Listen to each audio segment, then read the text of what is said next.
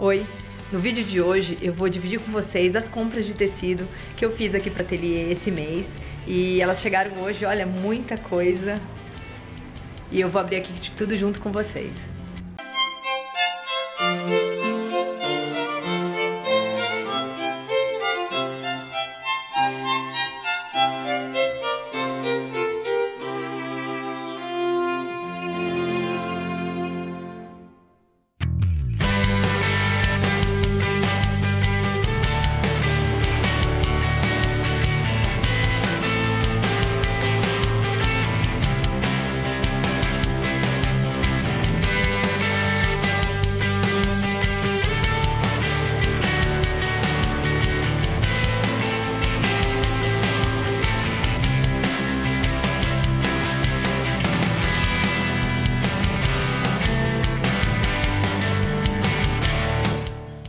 Bom, esse é o primeiro vídeo que eu gravo nesse formato e se vocês acharem interessante, vocês comentem aqui embaixo que eu vou fazer todas as vezes que eu receber produtos novos, é, aviamentos novos, lançamentos, enfim, tudo que é para a parte de desenvolvimento de produto aqui do ateliê.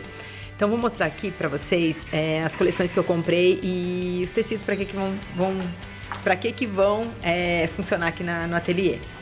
Bom, um dos tecidos que a gente comprou é essa renda, tá? Elas estão fechadas, eu coloquei pra vocês aqui, abri tudo aqui na parte da, da sala de prova. E ela é uma renda, ó, que tem, é um pouco, tem um pouco mais de cobertura, tá? A gente chama essa renda de renda plana, porque ela não é aquela renda de aplicação, então ela não dá recorte. Então eu comprei desta cor, ela tem desenhos também diferentes. Comprei a preta, tá vendo? E ela, o que é mais legal dela é que ela tem barrado. É muito difícil é, ter renda plana com um barrado. Normalmente ele acaba sem acabamento, né? Ele acaba, ele finaliza sem, sem esse detalhe aqui, ó.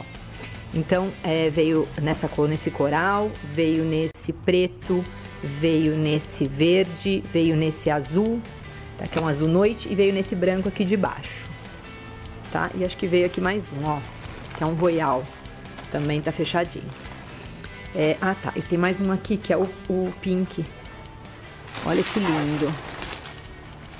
Eu gosto muito dessa cor. Ó, acho que ela fica bem feminina. Então, esse daqui são essas rendas, né? Aí eu também trouxe essa renda, que é uma renda bordada, que eu uso bastante aqui no ateliê. Ó. Ela tem um barrado bordado. Olha que lindo.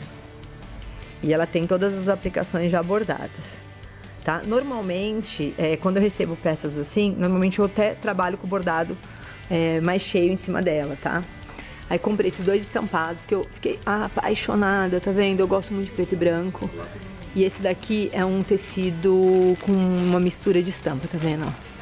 Ele, tem, ele é um uma cobra, mas ele tem uns efeitos de cores assim, ó, misturadas. Então eu amo muito também essa mistura porque eu acho ela super sofisticada. Acho que não tá dando pra ver, né? Peraí que eu vou abrir aqui. Olha que chique. Olha isso daqui. Olha que chiquérrimo. Então, essa daqui é a parte do, dos estampados. Bom, vou tentar mostrar pra vocês, é, assim, por partes, porque eu quero fazer e tô fazendo com a câmera do vlog, então é uma coisa que tem mais dificuldade. Bom, esse daqui, ó, são os tecidos, é, as rendas, né? Então eu trouxe as brancas, que é pra, pra parte de confecção de, de noiva, tá vendo? Dois tons, duas estampas na realidade, né? É, trouxe uma dourada também, ó, que muito linda, vai entrar bem forte agora. Trouxe também, voltando ali na, na pegada do pink, olha que detalhe maravilhoso. E essas daqui são, a gente chama de rendas rústicas, Tá vendo que elas são um pouquinho mais sotache diferente, tem um brilho diferente, ó. Então ela tem essa e a pretinha que tá escondida aqui embaixo. Deixa eu puxar, ver se eu consigo.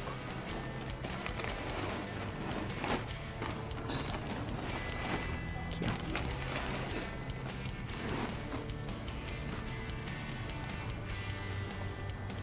Olha que linda.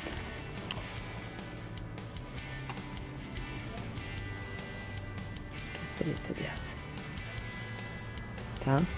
Aí aqui tem outras cores ali também, ó, que eu vou abrir com vocês. Mais preta. Tá vendo? Aqui tem mais preta, uma azul e uma, uma marsala aqui, ó. Tá vendo? Olha que linda. Gente, eu amo detalhes assim, ó. Pra bordar é maravilhoso, pra dar recorte é maravilhoso. Mas essas peças aqui eu trouxe realmente pra, pra fazer bordado ou peça inteira. Deixa eu virar aqui pra mim agora. Bom, o que que tem mais aqui? Vou mostrando aqui pra vocês, acho que vai ficar mais fácil. Porque olha a bagunça que ficou, ó. Tem tecido ali, tem tecido aqui. Deixa eu dar um zoom aqui, ó. Tem tecido ali, tem tecido lá, tem tecido aqui no chão, que, que são os que estão embalados, tá vendo, ó? Pra gente fazer também a conferência. Esses daqui são os tafetás índias. É, a gente traz bastante é, desse daqui em rolos pequenos, porque a gente gosta de ter um pouquinho mais de exclusividade nos tecidos. Então, é, quem é cliente da loja ou conhece a produção sabe que a gente compra é, cores limitadas e quantidades pequenas para que realmente manter a exclusividade. Como a gente está numa cidade né, que não é muito grande, embora a gente venda também é, para outras lojas no atacado, então a gente mesmo assim consegue é, ter uma variedade de cores e uma, e uma quantidade limitada. Esse daqui é um tecido maravilhoso, vou mostrar para vocês. Ele é, é um algodão com poliéster. Ele tem uma, uma sedosidade, um caimento, gente, muito leve, muito delicado. Eu consegui trazer em duas cores e também ele vai funcionar como base dos vestidos, porque eu só uso é, tecido, eu não uso forro para base de vestidos, ou se não para fazer as peças é, principais também. Aqui tem os tecidos, né, que são aqueles que eu, eu falo para todo mundo que são os, ai, que são os alures, são os tecidos mais leves, que a gente tem um pouco mais de fluidez. E esse daqui eu trouxe, que é um tipo um crepe Georgette, que tá com um pouquinho menos transparência, ó. Mas tá bem fluido. E aí eu trouxe duas cores de reposição. É, desse tecido aqui eu não tenho, é a cor que é a reposição do tecido mais leve, que é o alure, e esse daí é o crepe Georgette. Aqui eu tenho cetins, tá? Que são tecidos de que eu uso para base de forro, mas eles é, também tem, tem empresa que usa ele como tecido principal. Aqui eu tenho aquele mesmo que eu mostrei pra vocês aqui também nessa cor, mais levinho. Ele é maravilhoso. Não sei se dá pra, pra ver o toque aqui, ó. Muito maravilhoso. Aqui tem duas malhas que a gente recebeu também de outro fornecedor. É... Quem conhece a, empresa sabe que eu uso bastante base em malha, porque eu gosto, acho que modela, acho que fica maravilhoso. E aqui eu tenho... Ah, isso aqui é legal. Peraí que eu vou abrir pra mostrar pra vocês. Ó, esse daqui é um tule, tá vendo, ó? É, a gente fala que ele tem dupla torção, ó. É bem fininho. E eu trouxe também nessa cor aqui, ó. É um, desenvolvimento novo, então é, eu trouxe esses tecidos aqui pra testá-los. Deixa eu virar agora aqui. E... Então o que que acontece? A gente recebe, faz, né... Deixa eu sentar aqui. Vocês estão vendo que eu tô sentando lá pelo espelho, né? Então, como é que acontece agora? A gente faz o recebimento desse tecido, né? A transportadora deixa ele aqui. A gente faz agora a conferência via nota para ver se veio tudo certinho, se os preços vieram certo, que é também uma preocupação que eu tenho, é, embora eu tenha fornecedores assim de muitos e muitos anos realmente.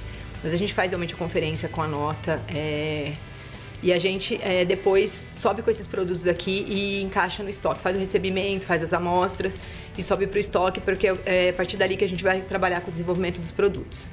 É, a maioria das coisas que eu mostrei pra vocês aqui são já da coleção nova e quando eu falo coleção nova, a Fartingalha ela trabalha com coleções entrando é, sempre, né? Toda semana tem produto novo, toda semana tem produto novo entrando na loja. Toda semana tem produto novo para os nossos é, clientes de revendas exclusivas, que são as lojas que vendem nosso produto em outras cidades. Então, quando a gente fala em coleção, a gente fala assim num processo de desenvolvimento, né? Então, chega o tecido hoje, ele começa já a ser desenvolvido. Eu trabalho é, num processo um pouco diferente. É, eu não trabalho com um desenho que eu crio e depois eu desenvolvo, eu procuro o tecido. Eu faço o contrário. Eu acho o tecido, me apaixono por ele. É, quando não vem agarrado com ele, trago ele embora agarrado, porque às vezes eu tenho medo de acabar. Mas eu trago tecido e em cima do tecido ele me inspira. Ele que vai dizer pra mim é, o que, que eu vou criar em cima dele, se vai ter manga, se vai ter recorte, se vai ter uma saia inteira, se não vai ter é, com relação à estrutura da peça, né? Porque a estrutura da peça ela tem que receber um tecido que se adeque a ela. Com relação à estrutura da, da modelagem, né? Também o recorte se vai comportar, se a costura vai ficar bonita. Então, é, realmente eu me inspiro com ele. Esse momento de eu receber tecido é um, momento, é um dos momentos que eu mais amo, porque é realmente aquele momento que você começa a partir lá para a parte criativa, né? Que você começa a pensar, a entender né, o que, que aquilo ali vai se transformar. É, eu resolvi fazer esse vídeo para dividir com vocês um pouco. Eu acho que quem ama tecido, quem ama desenvolvimento de produto, quem ama modelagem, quem ama criação, quem ama moda, enfim, é, vai adorar realmente assistir esse vídeo porque ele divide com vocês é, esse momento da, do, do, recebimento né, da matéria-prima, que é da onde vai realmente virar é, o produto final aí que vocês vão poder ver e encontrar nas redes sociais, tá? Espero muito que vocês tenham gostado desse vídeo. Se vocês gostaram, dá um like pra mim, se inscreve no canal. Não esquece de ativar o sininho é, que vai informar pra vocês quando tiver vídeo novo no canal. Espero muito que vocês tenham gostado. Um super beijo e até a próxima. Tchau!